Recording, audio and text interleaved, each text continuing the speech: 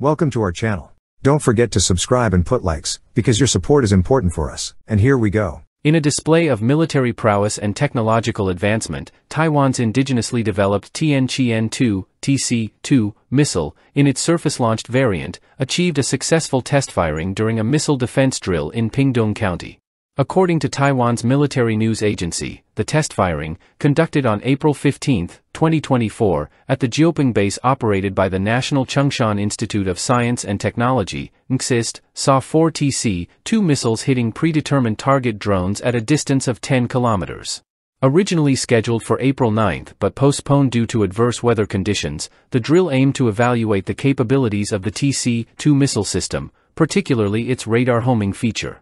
The TC-2, also known as the Field Combat Air Defense System, was developed by NCSIST and entered service with the Republic of China, ROC, Army in May 2023, replacing the outgoing MIM-72A-M48 Chaparral surface-to-air missiles. Comprising a launch platform, a car-mounted array radar system, a missile vehicle, and a command post vehicle, the surface-launched TC-2 variant offers enhanced capabilities for ground-based air defense.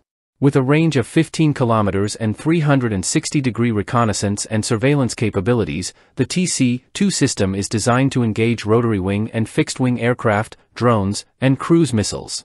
According to military sources, the NCSIST plans to conduct annual live-fire exercises to test the field combat air defense system's effectiveness.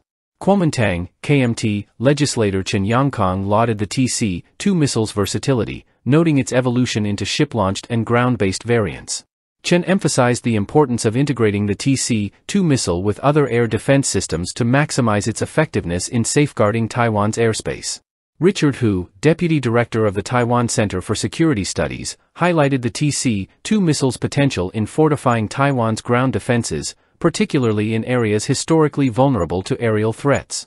However, Hu cautioned against deploying the system across multiple theaters of operations due to potential vulnerabilities to enemy surveillance and aerial attacks. The successful test firing of the TC-2 surface-launched missile underscores Taiwan's commitment to bolstering its defense capabilities through indigenous innovation and technological advancement.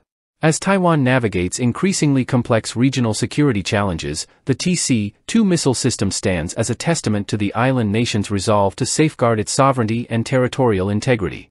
That's all for now. See you later.